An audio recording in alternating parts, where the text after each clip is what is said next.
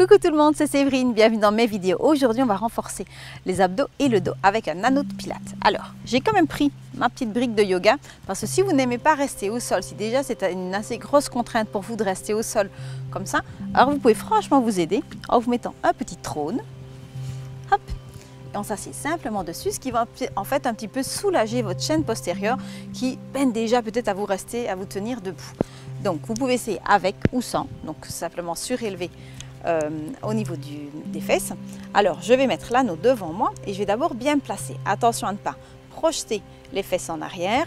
On va essayer de bien enfoncer en fait les ischions, donc les petits os des fesses, dans la briquette pour essayer de remettre le dos un petit peu plus droit. C'est une légère rétroversion.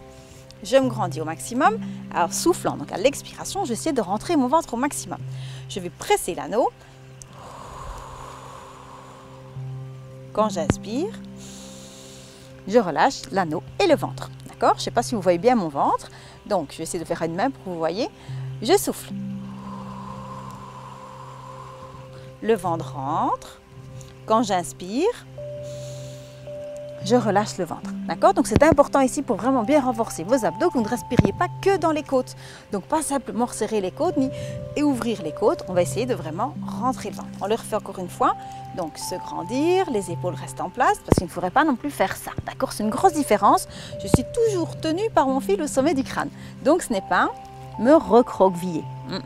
Donc bien grandir, je ne veux pas descendre la, la tête, j'essaie de ne pas monter les épaules, expire. Et on se repousse dans l'anneau.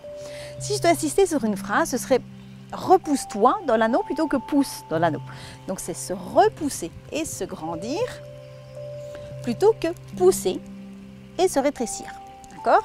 Donc ça va vraiment permettre au ventre de bien rentrer, au dos de retravailler vraiment donc ça, les érecteurs ici au niveau euh, du dos, donc au dos de travailler de manière assez globale et de pouvoir aussi resserrer les abdos, que ce soit par rapport au diastasis, que ce soit par rapport aux obliques. Donc ça, c'est vraiment un super travail.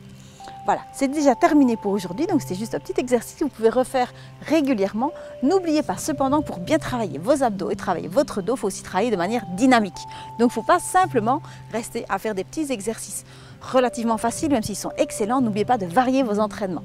Vous pouvez retrouver mes accessoires et d'autres entraînements sur mes. Toutes les infos sont sur ma boutique et de toute façon, on se retrouve très bientôt ici sur ma chaîne YouTube. Prenez soin de vous. Ciao